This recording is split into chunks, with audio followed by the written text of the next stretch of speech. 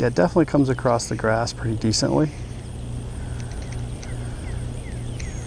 I like to just hook up on one fish to start the day, and then I'll switch over to the, uh, the Teckel Sprinker Frog, which is more of a swimmer.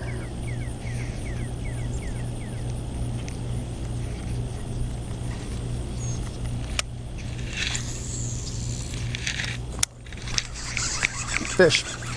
He hit it right when it landed. Oh, I had him too. I had him. Let's see if I can get this thing reset. Yeah, that was a shame. But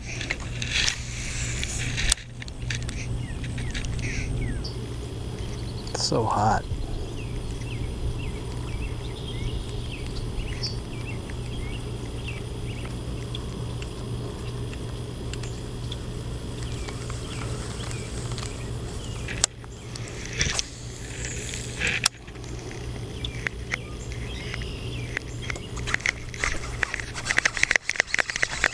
Finally, got one.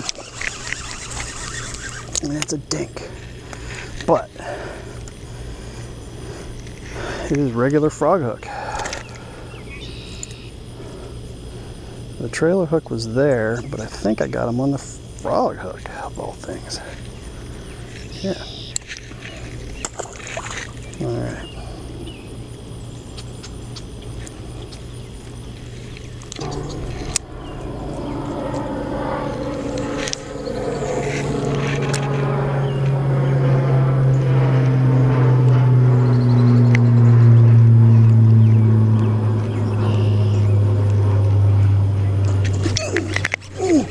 Oh. that was a good fish.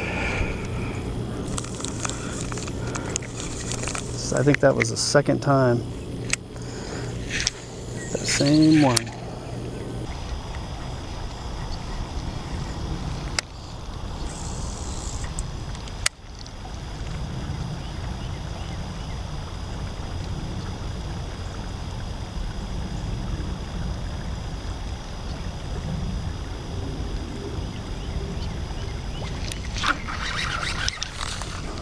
What the?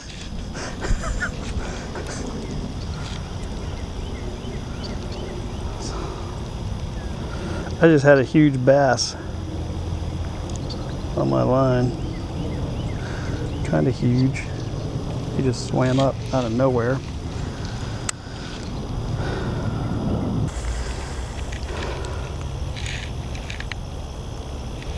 It's not full.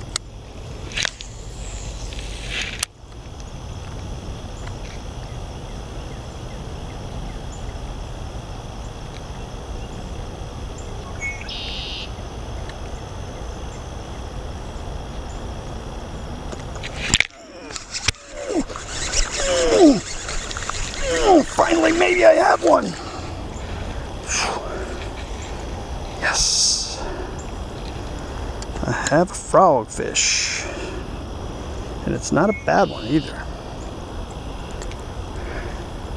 And I got him with a legit frog hook. Look at that, guys. Right through the old mouth. All right. A frogfish. All right, so that's probably my 20th, 20th blow up in my second fish. But we'll take it.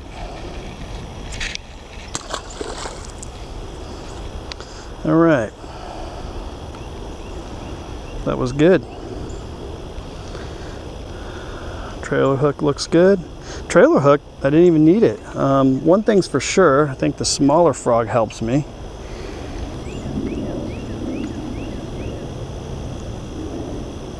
Man, they just come out of nowhere.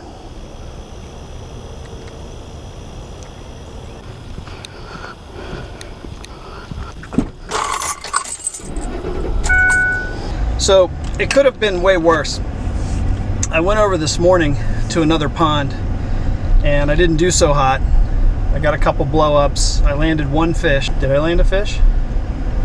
I think I landed one fish.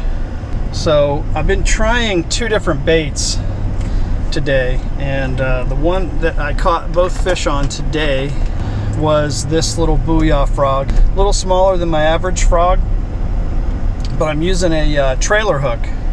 So that hook sticks out the back. Now I've noticed that like when you have just kind of matted mossy top uh, vegetation with grass underneath, that trailer hook works pretty good. Um, it doesn't get in the way, doesn't hook on anything, doesn't cause any problems, doesn't make it sink, swims just fine. You know, believe it or not, the fish that I just caught, I didn't even catch on the trailer hook, which isn't so much of a surprise, but it's, I guess, a security factor. It made me feel a little bit better about setting the hook. Um, I caught two fish today on a frog, and I've had like four or five blow-ups, so I'm getting closer to the 50-50 everybody talks about. Another frog that I've been using, man, I cannot remember the name. Just bear with me. Okay, okay. All right, the frog that I used today is by Doomsday Tackle Company, um, and it's called the the D-Hop 75. It's right here on my rod. Um, it's just a spongy frog that floats, so it doesn't collapse. It doesn't have a hollow body and it has a six aught like worm or swim bait hook on it and it's able to um, swim weedless and it just has one big strong hook. So I have yet to set one up on it um, and hook a fish but I think I will. I'm using a bright white with uh, lime and then I have a black one with yellow and then I have a yellow one with brown. So I'm gonna try different colors to see what I can get to happen. Um, but today was not a total bust. I went to two ponds. I caught a fish each normally I think I would catch more. I see these fish kind of going in and out of this grass. So I'm thinking that I'm gonna start punching the grass a little bit with some baits and then at the evenings and mornings use the frogs. Kind of an occasional thing, more of a fun thing because I just can't depend on it to give me fish hookups consistently, at least not to my level of expertise, which is not very good so far. So I'm gonna work on it, I'll get better.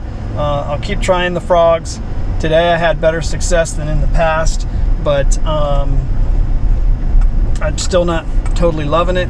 But hey, let's let's give it a whack. All right, man.